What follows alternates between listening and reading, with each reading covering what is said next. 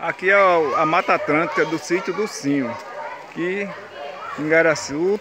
Aqui vem o professor Inaldo, né professor Inaldo? Aqui é o sítio do canto, né? Fala um pouquinho. É, aqui é uma reserva da Mata Atlântica viva dentro da, do centro de Itapsuma. Estamos com os alunos aqui das escolas, né, É. professor? É, Pronto. estamos transmitindo conhecimento que muitos não, não, não, não transmitem.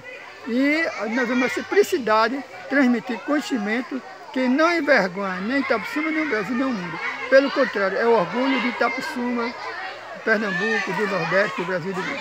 Pronto, e os meninos aqui, Célio André acompanhando os meninos também no sítio do canto, junto com o professor Inaldo, os pessoal das escolas, né? Aqui eles visitando aqui as, as crianças das escolas, Isso, muito bem. aqui a Mata Atlântica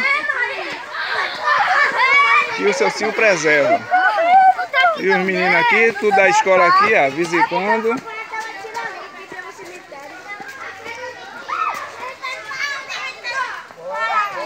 A visitação aqui do sítio do canto, das crianças aqui das escolas, né?